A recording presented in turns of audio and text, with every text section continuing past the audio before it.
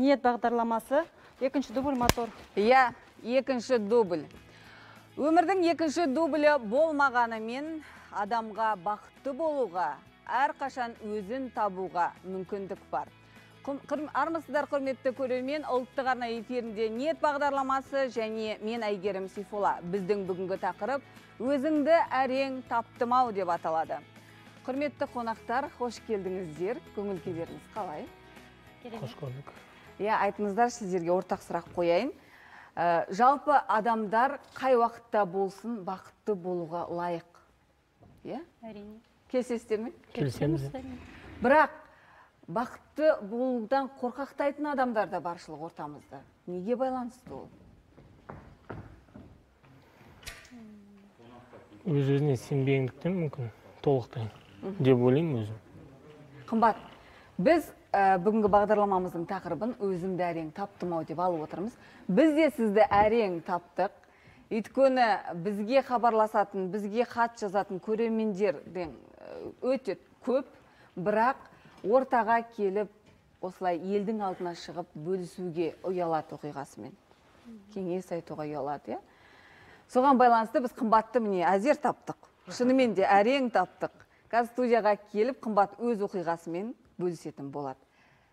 осындай оқиғалардың бөліскен негізі пайдалы өйткені көп адамдар өмірде бір рет қателесіп бір рет сүрінгеннен кейін екінші қадам жасауға батыл жетпей жатады ал осындай қымбат сияқты ә, кісілердің келіп өмірлік тәжірибесін бөлуі бұл жалпы жұртшылыққа жақсы үлгі болады деген ойдамын сол үшін тыңдап көрейік өте пайдалы болады Қымбат, сіз бақыттысыз ба? әрине бақыттымын Бақыттың қайдан таптыңыз қуандықты? Қалай кездестіңіздер? Қанша жыл бұрын? 2017 жылы инстаграм арқылы м, жаңағыдай лайк үпіл пікір жазып жүрген. Сізге? иә маған. Ә, ішіне кіріп қарадым бір ғана фотосы бар екен суреті жаңағы. Сенбедім ойладым может біреу алдап жатқан шығар деп. Фейктер көп қой қазіргі таңда. Содан кейін ә, үш күн өткеннен кейін ә, жаңағы мешітке тартты. Үйдің қасындағы мешітке бармай мынау хазірет сұлтанға тартты. Хазірет сұлтанға келіп ә, дұға жасап сөйтіп шығып бара жатсам мына кісіні көрдім. Түріне қарадым ес көзім алдымнан кетпейді да бір жерде көргендей болдым. Сосын есіме түсті кеше фотосын кіріп қарап едім ғой мына кісі сол ғой дегендей сияқты. Сосын сендім бұл фейк емес екенін. Үйге бардым да жаңағы дайрекке сәлем деп өзім жазып жібердім. Үш секунд төрт секунд өткен жоқ сразу жазып жіберді сәлем деп сөйтіп сол күні кешке кездестік. 2017 жылы 30 май. Май күні уже үш жыл болады танысқанымызға. Сөйтіп кездесіп ары қарай осылай. Бірден сөздеріңіз жарасып кетті жарасып кетті иә. Бірімізді түсініп Осы қуандық ұсыныс жасаған кезде қорқыныш болған жоқ па ойыңызда? қорқыныш әрине болады.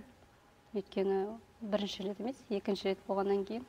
Бірақ бұл кісіні көрген кезде бір он жылдай танитын адамдар сияқты бірімізді бірімізге сөзіміз жарасып сондай болды да и ешқандай андай басында болады қорқыныш әрине Қанша э, сол үрей бойдағы бір сенімсіздік, қорқыныш, енді бір рет адам қателескеннен кейін аяғын аңдап басады, иә?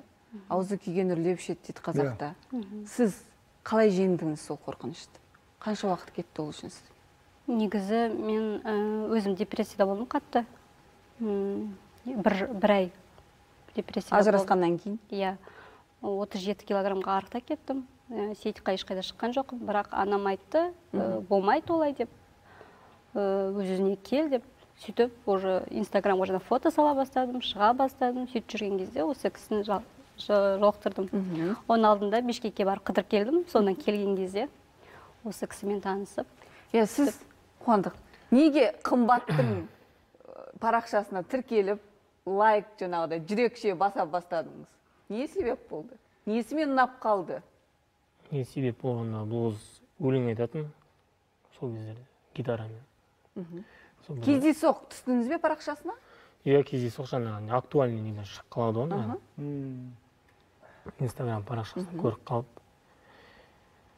Сонымен сол ұнатып сол видеоларынан. Өлеңдерінен Аямай жүрекшені тамсанып, бастым иә дейсіз. сол әйтеуір комментарий жазып дұрыс жағынан ғой әйтеуір. Аха. сөйтіп сөйтіп махаббатымыз ашылып. Алғашқы кездесу есіңізде шығар иә? Иә әрине есімде ол. Қандай сезім болды сол кезде сізде қыздарда басқаша болады бәрібір иә? Сіздерде мен жігіттердікі қандай болатынын білгім келіп тұр. Ол кезде енді басқаша қымбат ол кезде кішкене басқаша болады кезде енді жаспыз. Бұл кісі сізді алғаш рет мешітте көрген кезде байқады. Сіз ол кісіні байқадыңыз ба мен вот байқамадым ол кезде байқамадыңыз? Байқамадым иә. мен байқадым да сол негізі қыздар таңдайды дейді ғой. Иә. Егер қымбат сол кезде иә байқап қалмай өзі жазбаса не істер едіңіз сіз? Сол жүрекшені басып жүре берер ме едіңіз? Білмеймін ол жағын енді ойлаймын. Бұл кісі негізі фейк страницадан жазатын екен маған. Мен иә иә. Үнемі фейк страницадан жазады екен да менімен кездескісі келеді екен. Бірақ бата алмайды. бірақ иә мен фейк страницаларды заблокировать тастаймын да сөйлеспейтінмін. Сол кісі содан кейін осындай страница ашып сондай ә, не нетіп тұр ол да бір қадам ғой. Иә.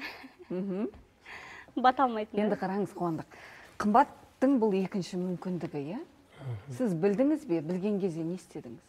Көбінесе білдім оны. Азаматтар қаша жөнеледі ғой? Енді сіз араласа бастағаннан кейін білдіңіз ба или былай жоқ мен білгенмін оны. алдында біліп жүрдіңіз? Иә жүрекше басып жүргенде сіз білдіңіз кішкентай иә? қала ғой ол кезде мен қатты популярный едім инстаграмда. Танымалды қыз ғой иә. Иә қазір ғана екінші аккаунтым ғой. Оның алдында көп адамдар танитын бізді. Блогер болдыңыз? Иә бұл кісі мен бірінші тұрмысқа шықпай жатып та білетін мені. Иә сол кезден бастап мен ең басында инстаграм жүргізе бастаған кезде ана гитарамен өлең айтып сөйтіп салып жүрген кезде бұл кісіге ана мен өлең айтқаным ұнаған екен.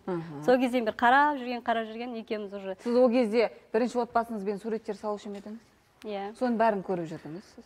Жоқ мен ол кезде кез бұл иә кісі инстаграмда екі мың он үштің кезінде мен ол кезде бір жарты жыл ғана отырған шығармын инстаграм одан кейін мен жоқ болып кеттім ғой инстаграмнан жаңағындай аккаунтты ұмытып қалып паролін сонымен кейін біраз уақытқа дейін жоқ болып кеттім где то бір жыл ма солай бірақ одан кейін қайтадан қостық қой инстаграмға сол кезде қайтадан қымбаттау болдыңыз жоқ іздеген жоқпын ол шығып қалды маған вот именно қайтадан жаңағы Бюроң болып тұр ғой онда. актуальный шығып қалды да маған қайтадан кіріп қараймын уже жалғыз өзі былай былай жүрді анда мында прямой эфирларына кіріп арасына сөйтіп жүрегіңізде үміт оты жылт ете қалды иә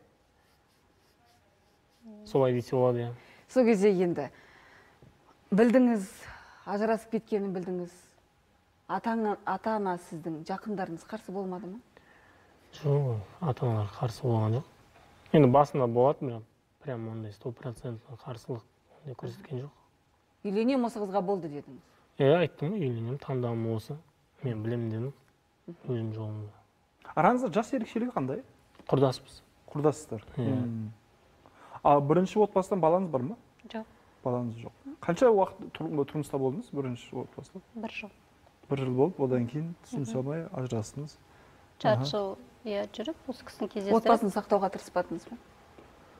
Біз ол жақпен екі жақты жақсы келісімге келіп сөйтіп неттік та ажырастық. сезім болмады арада иә?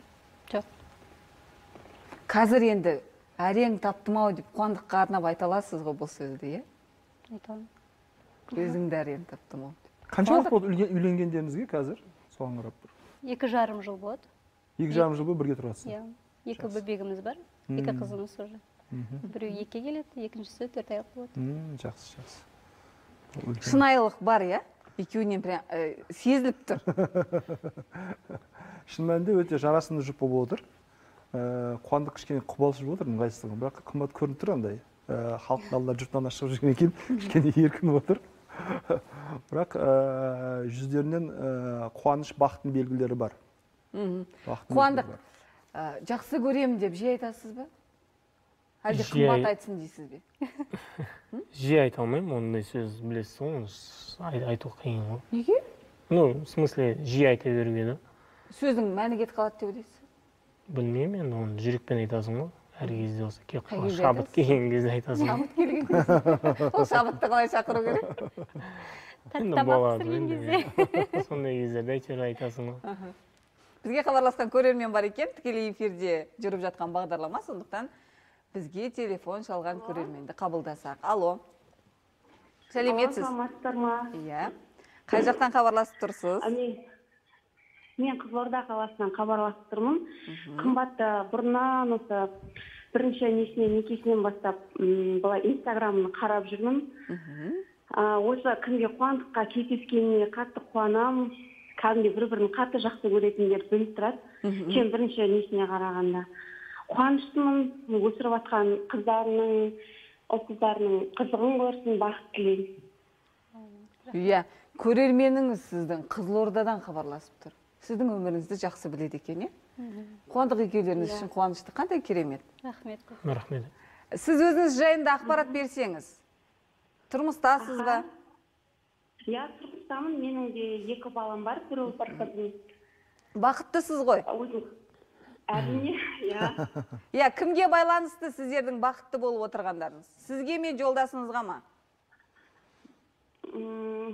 Көп жағдайда. Екі жақтан деп ойлаймын өйткені бір жақтан болмайтын шығар.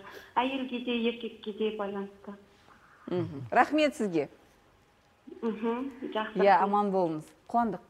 Кімге байланысты отбасының бақытты болуы отбасы мүшелерінің? Әйелге ме әлде ер азаматқа ма? Екі жаққа да байланысты. Екі жақ бір бірін толтырып отыру керек қой орындарын қалай толтыру керек сонда?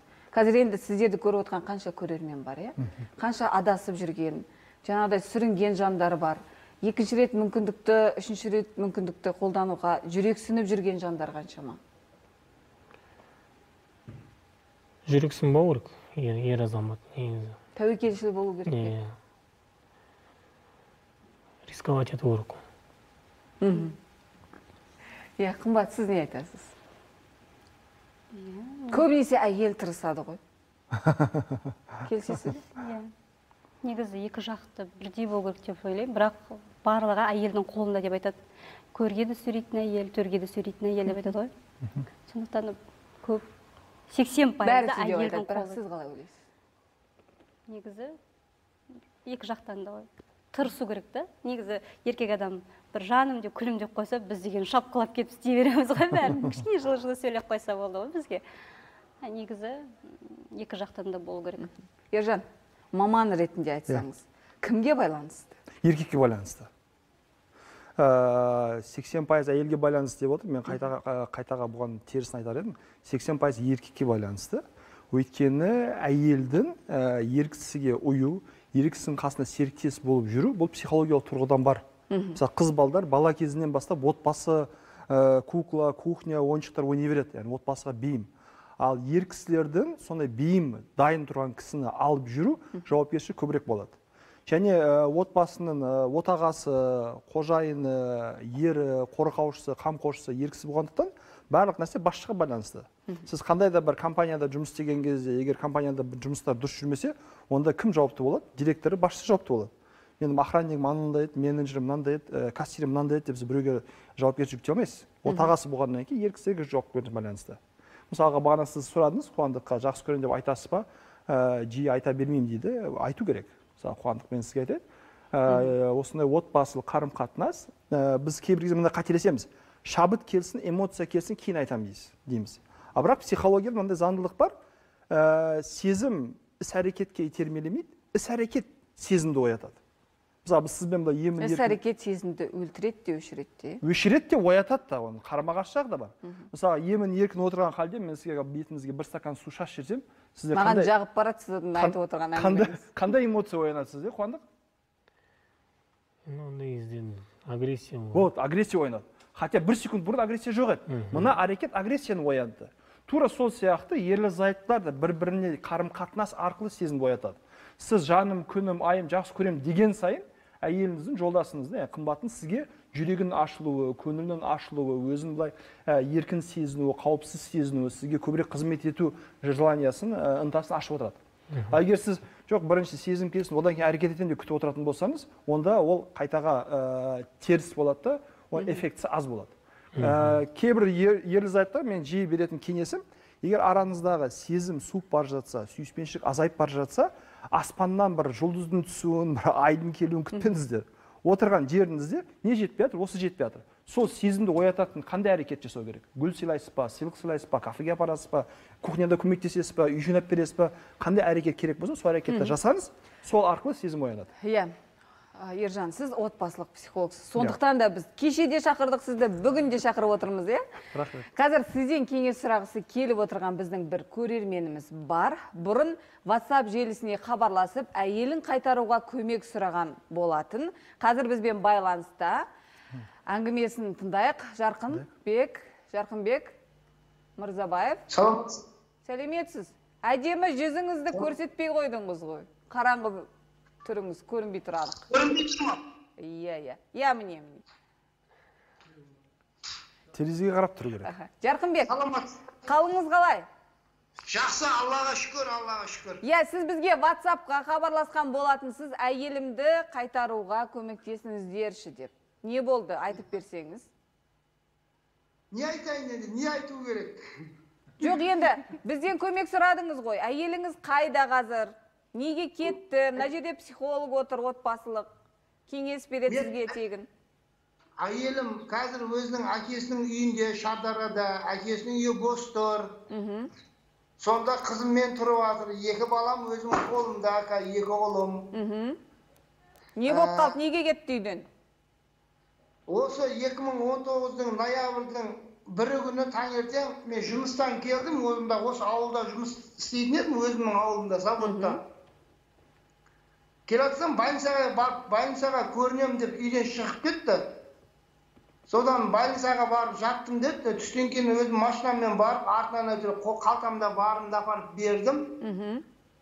Содан больницада жатырдым деді. Одан кейіннен тағы бір бардым. Мхм. Областнойға жатқызатын болды деп қалаға жатамын деді шымкентке. Жарайды деп шымкентке артынан барып қалтамда он мың теңге бар еді соны бердім ағам барған қасыма туған ағам ол жиырма мың берді сонымен екеуміз шамалы қасында әңгімелесіп отырып шығып кеттік мхм не болды содан мен заводта жұмыс істеп жатқанмын заводта айлықты аз көрдім да алматыға балдар шақырып қалды. Алматыға кел алматыда нормальный объем болып жатқаннан кейін мхм алматыға қалдым. Екі баламды мамама тастап. Содан басталды ма енді ұрыс иә сол алматыдан келдім үйіне шымкентке. Жаңа жылға төрт күн қалғанда сонда үйге кірдім үйге кіріп едім енеммен жаңа әйелім жүр екен қалада квартирада тұрады енелерім.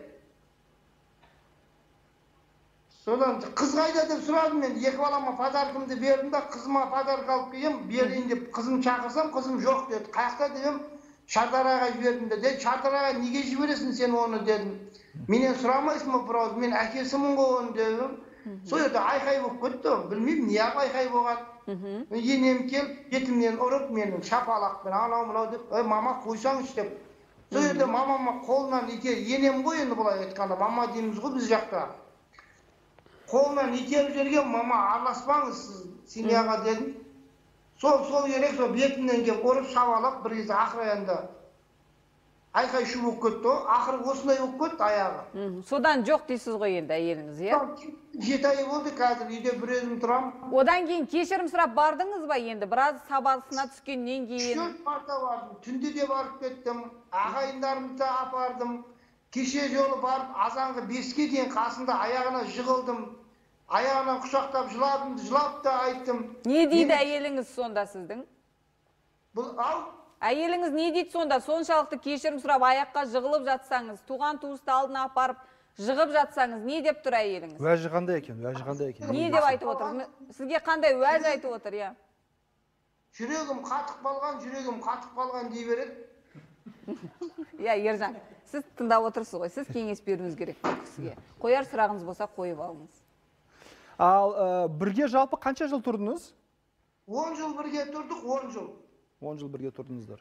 Ә, араңыздағы эмоциялық жақындық болды ма? Сезімдерді білдіру жақсы көретініңіздерді айту бірге уақыт өткізу? өзім- мен өзім жақсы көремін деп постоянно айтамын. Жұмыстан келген сайын жақсы көремін жақсы көремін деп құшақтап жақсы көремін деймін. Бірақ осы бір екі жылдың көлемінде бұл өзімнің бір түсінбеймін. Маған деген несі болмай жүрді.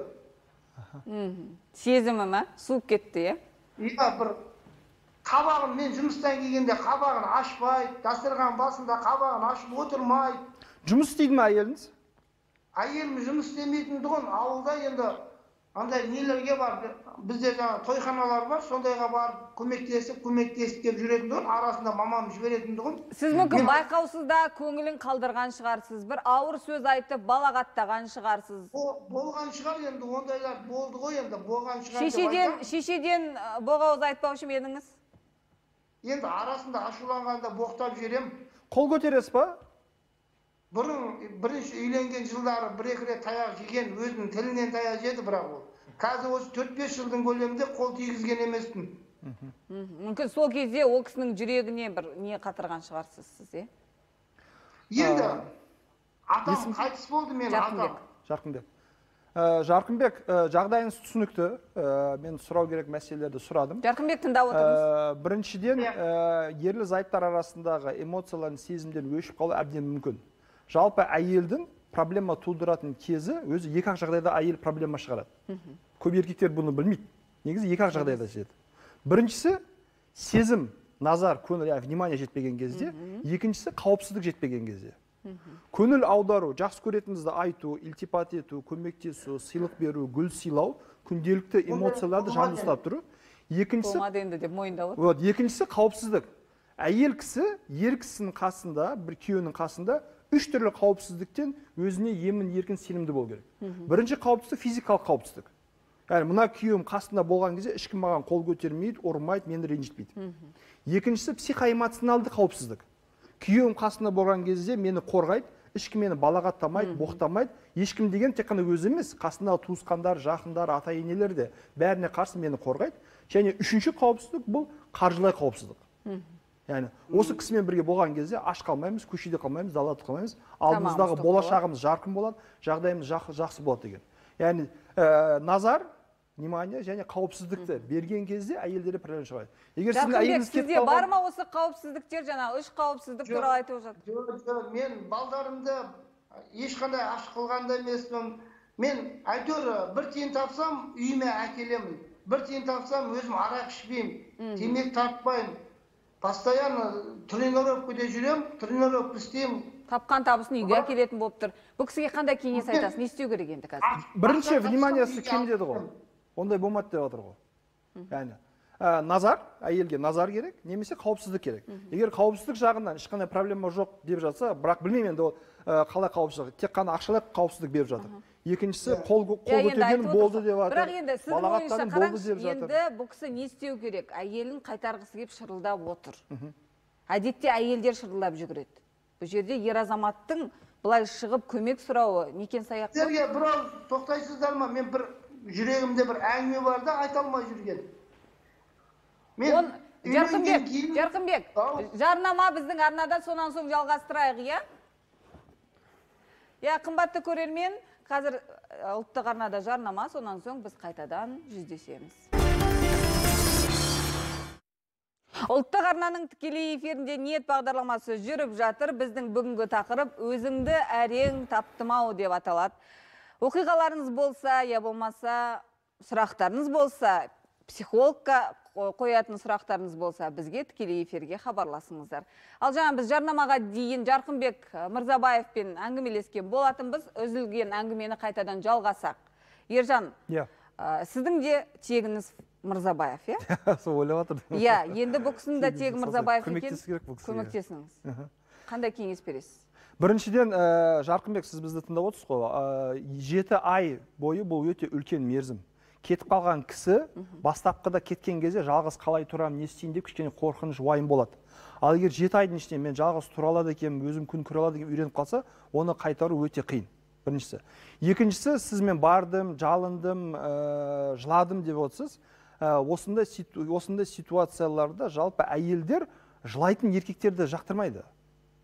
Яғни ол жерде барып сөзбен жылап эмоцияға берілудің орнына Нақты әрекетпен нақты әрекетпен істермен ә, жеті айдың ішінде жеті рет барып жылағанша үш рет барып қолыңызға гүліңізді шоғыңызды алып нақты оған не керек және соны түзету үшін не істей аласыз? Яғни біз бұны псих, психотерапиядан өткізу керек эфирдің көп уақытын алмайық бірақ негізі нақты қадамдар жасайтын болсаңыз әйеліңізді қайтарып алу мүмкіншілігі әлі күнге де бар. Ол сіз оны былай жылап ә, эмоцияға беріліп олай көріну керек жоқ. Біз ер кісілерге ер кісілерге өзін ұстау керек өзін ұстау керек. Өйткені әйел кісілер былай айтқан кезде әлсіз еркектерді көтере алмайды. Ал жылау бұл әлсіздіктің белгісі. Еңіреп тұрып қайтаруға тырысу жылау еркек әлсіздіктің белгісі. Жақсы көремін деп айт сыйлаймын деп айт көңіл кө- көңіл бөл бұл басқа ситуация. Ал бірақ қайтару үшін былай эмоционально былай айтқан кезде қысым көрсететіндей былай жылап еңіреп аяққа жығылатындай бұл, бұл әрекеттеріңізбен сіз әйеліңіздің алдында қайтаға абыройыңыз одан да төмендеп бара жатыр кезде плинтустан да төмен сосын кетіп жатыр. әйеліңіз басыңызға шығады дейсіз ғой. Әйеліңіз басыңызға шықпайды әйеліңіз қайтып келгісі келмейді. Өйткені әйел кісі қасында өзіне сенімді тірек бола алатын тіреу бола алатын ер кісілерді қалайды.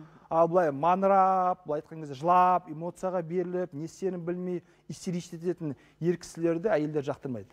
Сол үшін егер сіз осындайыңызды қойып нақты іс шаралар яғни жүрек суып қалды деп жатыр. жарайды мен сенің жүрегіңді жаулап алу үшін мынаны мынаны істеймін.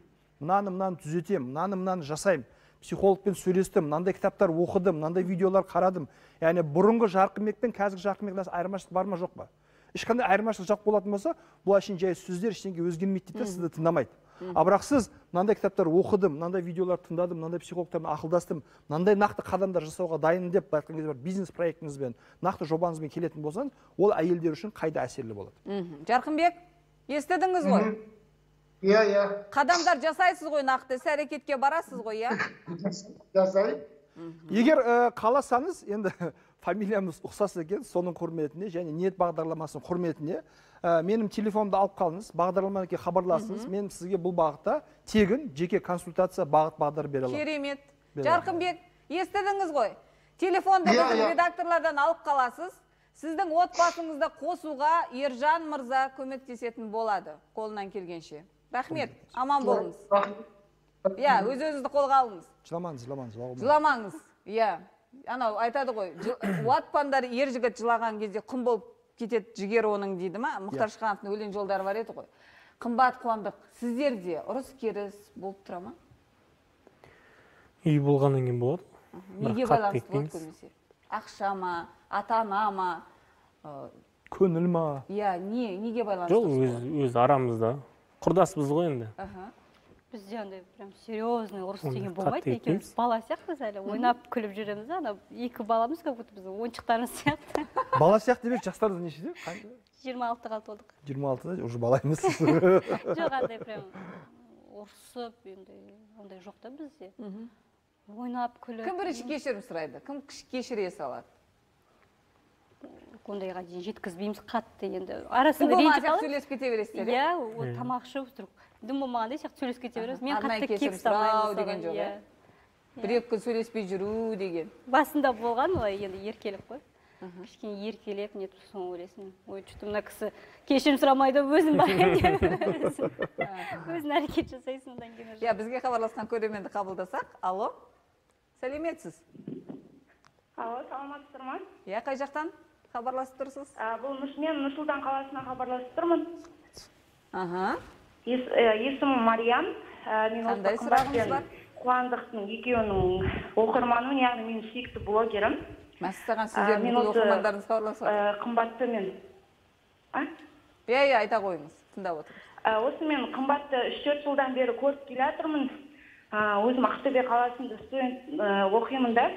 Сол жаңағы қымбатқа қымбат өзінің өмірін жайлы салғанда осы қуандықпен кездескенде біздер андай кәдімгідей осы қымбаттың өмірін талқылайтын едік. Бізге қызық еді да. Өйткені ол популярный болды. Сөйтіп аяқ асты жоқ болып кеткеннен кейін тоже қайда кетті не болып қалды аманшылық па деген сияқты біздерде болды да. Қайтадан актуальныйға шыққан кезде біз қуандық.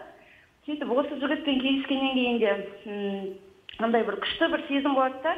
Чтобы осы ақыры қымбат өзінің жаңағыдай сүйікті жігітін тапты ау дегенде. Қазір құдайға шүкір енді екі бала екі жаңағы қызы бар айгүл мен інжу аттарын да іліп екен қандай күшті иә көрермендері рахмет сізге. Аха. А, мен өзімнің оқиғам яғни мен күйеуім екінші рет мені алып отыр. Яғни бірақ менің бірінші некем бақыттысыз ғой. Әрине құдайға шүкір бақыттымын. Күйеуім де айтып отырады сені құдайға маған аллаға мың да бір шүкір жаңағыдай сені жіберген маған сені өзің әрең тап әйтеуір былай былай жүріп өзім сені таптым ғой дейді. Құдайға шүкір қайын жұртым бәрі мені жақсы қабылдады. Ә, мені жақсы көреді енем өте алтын кісі қайынапам қайыным, бірінші некеден жолдасыңызда бала бар ма? Бірінші некесінен әрине балдары бар. Қалай араласасыздар мен араласпаймын күйеуім араласады жақсы. Балапандары келмей ме үйге? Жоқ келмейді. Сіз неге араласпайсыз? Ә, қызғанасыз ба? мен о, қабылдамайсыз қызғанғанда бәрібір бір қызғаныш болады. Ә, бірақ ә, оның бірінші әйелі яғни жібермейді бізге қарай. Мен өзім де айтамын бірге қыдырайық деген сияқты. Өте таныс жағдай. рахмет сізге. Иә. Мынау э, екінші рет үйленген кезде белгілі бір қорқыныш болады. Ә, сіз алдыңғы отбасылық өмірден қандай дәрістер шығардыңыз? Осыларды қайталамасам отбасылық өмірім жақсырақ болады деген. Қандай сабақ алдыңыз иә өзіңіз үшін? Бұл көрермендерге өте пайдалы болады деп ойлаймын осындай мәселе жас қайталамау? жас болдық қой жиырма бірде болдым ол кезде. Өз үйіңде жүргендей сияқты боласың да үйренбейсің. Ана жақта енем бірдеме айтып жатқан кезде ой қойшы деп андай. Мән бермейсің да қазір ол маған сабақ болды да енем айтып жатқан кезде тыңдап тыңдап аламын. Ол жаман болсын деп айтпайды жақсы болсын деп айтады. Сол негізі жалпы сіздің жаңағы алғашқы некедегі некеңіздің сәтті болуы сәтсіз болуы неге байланысты болды? Жаңағы сіздің көп нәрсеге астыр мына үстіртін қарағаныңыздан ба неден деп көресіз? Әлде суықтық жолдасыңыздан болды ма? Жас болдық деп ойлаймын. Соған байланысты деп отырсыз бала махаббат. Өзім де білмеймін не үшін тұрмысқа шыққанымды сол кезде. Ол кезде түсінбедіңіз. түсінбедім. Бұндай қателік негізі жиі қайталанады ә, әсіресе қыздарда. Бұлар үйленген кезде қайын жұртты енесін өз анасындай көргісі келеді. Барған жерін өз үйіндей көргісі келеді. Бұл ең үлкен қателік. Бұл жердегі белгілі бір субординация әрдайым сақталып отыру керек. Өйткені енеңіз қанша сізге қызым қызым десе де ол сізге мамаңыз емес. Е бұл маған қызым деп жатыр ғой бұл мен мамам ғой кішкене еркелей тұрайын жата тұрайын. Мысалы біз мамамыздың алдында қыздар өздерін қалай еркін сезінсе енесін де мамасындай жақсы көріп бұл жерде бір арам ой жоқ. Соншалықты жақсы көріп еркін сезіне бастаған кезде қарсы тараптан яғни бұл келін емес па міндеті жоқ па жауапкершілігі жоқ па неге істемей жатыр деп осындай негативный реакция тудырады. Сондықтан осындай ә, қателік бұл жиі кездесетін қателік шын мәнінде яғни ене бұл ана емес шатастырмаңыздар. Анаңыз алдында еркелейсіз бірақ енеңізбен сыйластық құрмет шеңберінде белгілі бір заман 5 жыл 6 жыл 10 жыл өткеннен кейін белгілі бір сезімдер ашылуы мүмкін. Оған дейін онда асығыстық жасамау керек. Иә. дұрыс қой ілгеріде қазақта ұрыс керісте ақсақалдар жағы араласып отбасының сақталуына ықпал еткен. Оңтүстік өңірде бұл дәстүр әлі сақталған. Ондай ауылдың ақсақалдарын медиатор би деп атайды екен өздері. Қазір осы жайлы түркістан облысы түлкібас аудандық ардагерлер кеңесінің төрағасы сәтбай қасымбекпен біз скайп арқылы байланыс орнатып отырмыз. Сәтбай аға сәлеметсіз? Саламатсыз иә айтыңызшы медиатор бидің міндеті не? Ашып ажыратып аудандық ардагер кеңесінің жанынан билер алқасын құрдық.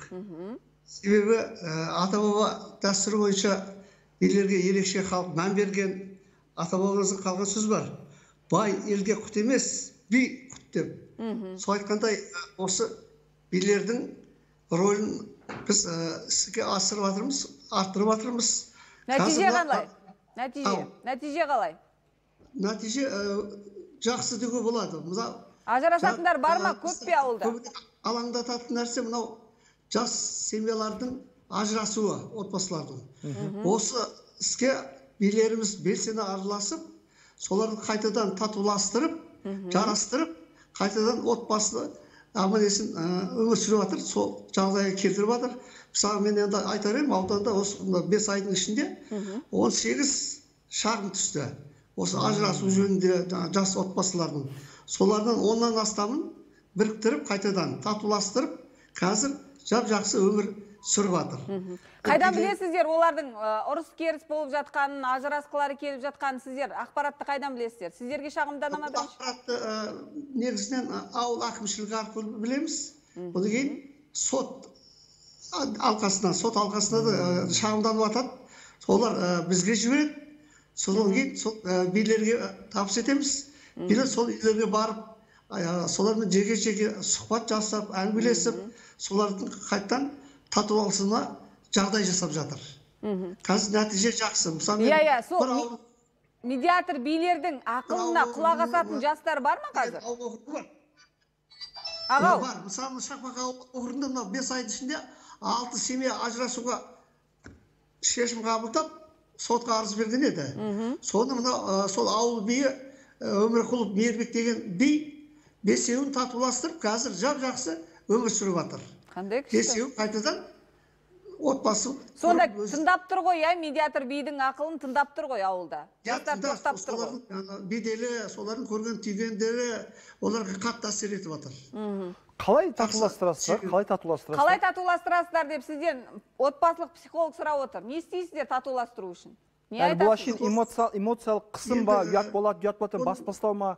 Немесе айқындап ара жігін кімдікі дұрыс бұрыс екенін нақтылап ә, түсіндіру ма немесе Иә. бір ы, озық тәжірибемен бөлісу ма ә, нақты қалай татуластырасыз сол маған өте қызық нақты э, ең бірінші соның негізін себебін анықтайды. Енді э, кейбір отбасыларда жаңағы жетіспеушілік әлеуметтік мәселелер басқа жаңағы жұмыссыздық деген мәселелер әсер етіп жатыр ғой.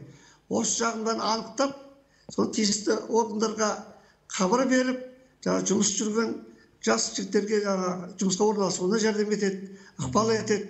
Сол семьяны сақтау үшін барлық әрекет жасайды. Ұят болады қой барма сен кетпе деп басасыздар ма? А. Ұят болады ел не дейді ойбай ертең кетіп қалсаң деп. Ол жағында айтылады ғой ол енді біз өзі намысты халықпыз олардың да сол намысына қозғау салады намысын тудырады елдің алдында беделдерінің жаңағы жойылатынын айтып түсіндіру жұмыстарын атқарады. Ағау айтыңызшы анау таяқ жеп отырған әйелдер мысалы иә? Иә. зорлық зомбылық көріп отырған әйелдер арыз жазып кетемін мен бұл қорлыққа шыдамаймын десе не дейсіздер?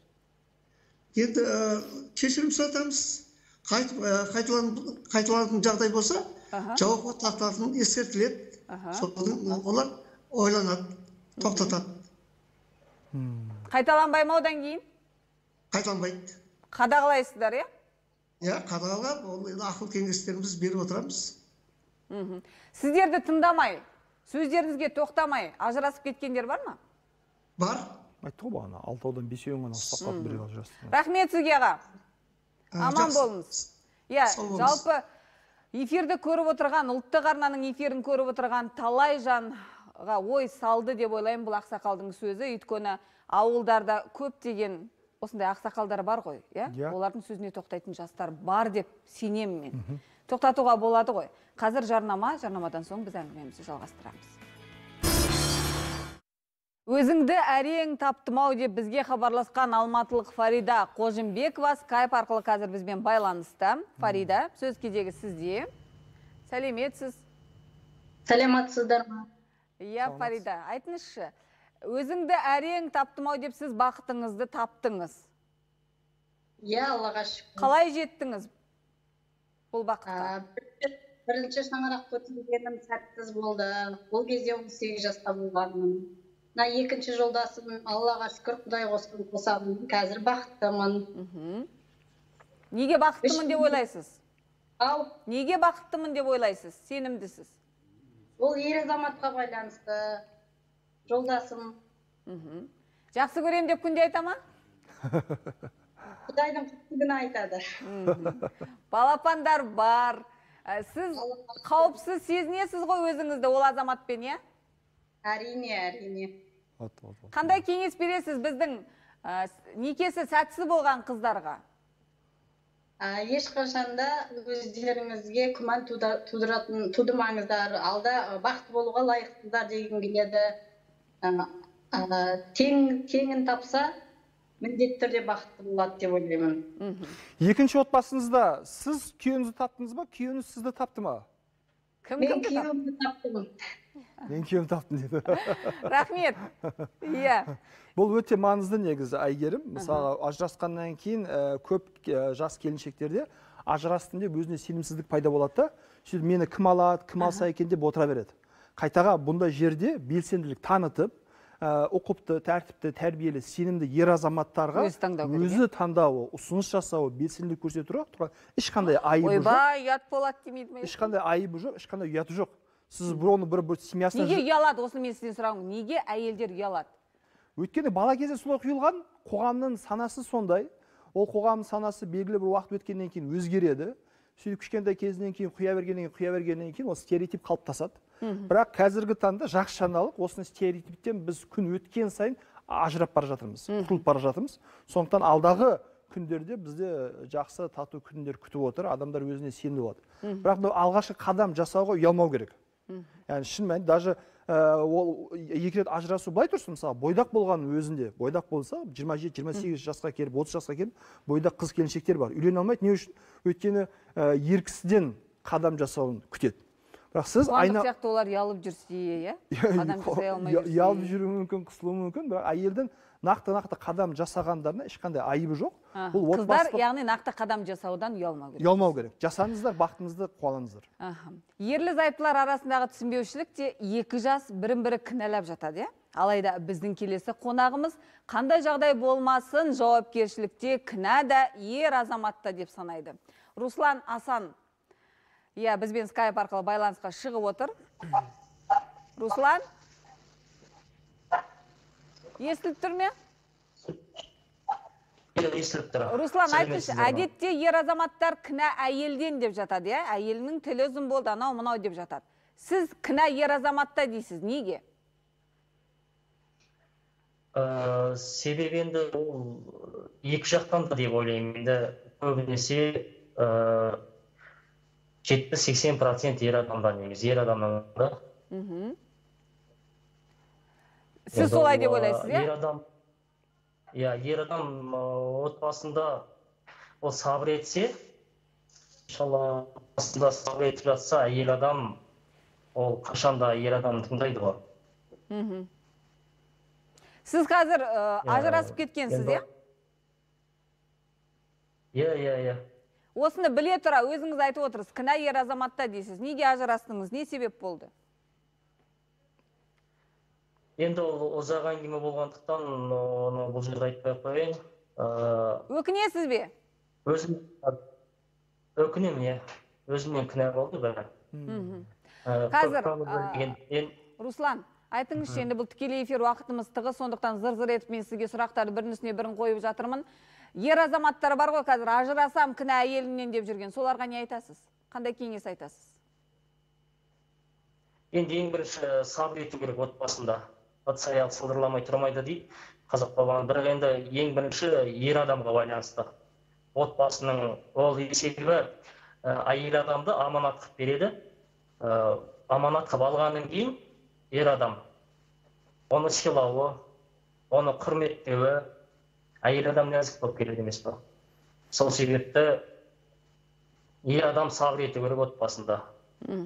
Сонда Иә. ғана отбасы бола алады деп ойлаймын. Рахмет сізге руслан. Рахмет аман болыңыз. Сіздер келісесіздер ме русланның пікірімен? Қуандық. Келісемін иә. Келісеміз ғой. Сіз көп сөйлемейтін нақты істің адамы сияқтысыз ғой. Келісем шешем жақсы көремін деген сияқты иә. ашылып айтсаңызшы кішкене. Иә толықтай келісіп тұрмын пікірімен. Сіз сабырлысыз иә иә сабырлы ашуланбайсыз ба? Қайтып ашуландыруға болады сізді. Қымбат негізі тез. Тез ашылады тез бұрқ ете қалады да басылып қалады ашуландыру бұл кісіні. Оңай соқпайды да кәне көріңізші деймін аш негізі а, бірақ бұл кісі ашуланған кезде мен бұл кісі ашуланып тұрғанын білемін да. Тыныш қана үндемей ғана отырған сосын ар жақта уже екеуміз сөйлесіп кеткенде жаным күнім деген кезде айтып айтып аламын да. Тынышталған кезде. Өйткені ол кісі ашуланып тұрса мен де оның бетіне шап етіп алсам уже ары қарай ұрыс төбелес қырылыс кетуші еді. Ішіңізден санап тұрасыз бір екі үш төрт нешеге дейін жетеді бұл кісінің ашуы сонда қай санға дейін? Негізі орынды біліп резко сол жерде қоя қойсаң. Иә бақыттың формуласы. Бізге айтсаңыздар. Бақытты формуласы. Отбасы. Қуандық айтпайсыз ба? Махаббат қой енді бақыттың формасы махаббат бар ма өзі? Махаббат бар ғой. Әлде де екі қызымның анасы. Ана ретінде қараймыз. Екі қызымның анасы дедіңіз. Ұл сұрап мазалап жүрген жоқсыз ба? Алланың бергені болады. Айналып кетпейсің бе иә осындай ер азаматтардан? Қандай мықты азамат? Жалпы қуандықтың студияға келіп өзінің сүйікті жарын қолдап отырғанның өзі неге тұрады? Керемет біздің керемет, азаматтар керемет, шықпайды ғой. Керемет. Яғни ерлі зайыптылар осылай бірін әрдайым қолдап отыру керек әрдайым бір біріне мотивация беріп отыру керек. Жалпы махаббаттың ә, формуласы бақыттың формуласы негізі детальдарда. Детальдарға назар аударсаңыздар сол кезде әрдайым жолдасыңызға сол детальдарды анықтап анықтап айтып беріңізші. Де- детальдар деген детальдар дегеніміз яғни сіздің мысалға жолдасыңыздың ең жақсы көретін фильмі қандай? Ең жақсы көретін музыкасы қандай? Ең жақсы ұнататын гүлі қандай? Ең жақсы сыйлығы қандай? Бүгін көңілің күйің қалай болды? Бұл детальдарды білген сайын таныған сайын жолдасыңыздың сізге деген сенімі артады сіздің жолдасыңызға деген сүйіспеншілік артады. Екеуі бір біріне жаңағы детальға екеуі де мән беру керек екеуі де мән беру керек. Не ұнатады не ұнатпайды не жақсы көреді қалай қарайды қандай нәрсеге ашуланады. Мысалы балалық шағы қалай өтті күні қалай өтті? Бұның барлығы күнделікті 30 минут әңгімеде сақтаулы. Ал қазір мынау телефонда жататын мынандай азаматтар? Ой ондай азаматтардың барлығы ертең менің клиенттерім болады. Мен қайтаға жата берсін конечно ештеңе менің клиенттерім болады ондай кісілер. Бірақ менің клиенттерім болғыңыз келмесе телефонға қызығушылық танытқанның танытқандай жолдасыңызға қызығушылық танытыңыз. Кейбіреулер ойлайды бес жыл біргеміз он жыл біргеміз не қызық айтуы мүмкін не жаңалық айтуы мүмкін дейді бірақ адам баласы күніге өзгереді және күніге жаңа бір ойда болады. Сол күніге 30 минут сөйлескен отбасылар ешқашан ажыраспайды 30 минут енді қараңыз қазіргі психолог коучтар айтады иә әйелге сен күйеуді өзгерте алмайсың қалай бар солай жүре берсін. Сен өзіңді өзгерт. Сосын содан кейін әйел деген шапқылайды тоқтамай. Өзін өзгертеді түр сұлбатын бәрін өзгертеді мінезін де өзгертеді ойлау қабілетін оқып кетеді иә. Сол дұрыс па? Әйел озып кетеді ер азамат сол қалпында сол деңгейде қалып қояды ғой. Бұл жерде жауапкершіліктің бәрін әйелге жүктеген жүктеу ұстанымы дұрыс емес. Яғни әйел еркекті өзгерте алмайды еркек те әйелді өзгерте алмайды әрқайсысы өзінің көзқарасын ұстанымын еркектер әйелдерді басып тастайды иә еркектер өздерін жетілдіру керек. Көп жағдайда отбасын қалай жүргізуге байланысты білім жетпейді. Мысалы сіз төрт дөңгелекті бір темірді айдау үшін үш ай курсқа барасыз имтихан тапсырасыз куәлік аласыз. Мына кісі мына машина айдай алады деген көлікті айдай алады. Ал отбасын жүргізу одан да қиын одан да жауапты мәселе.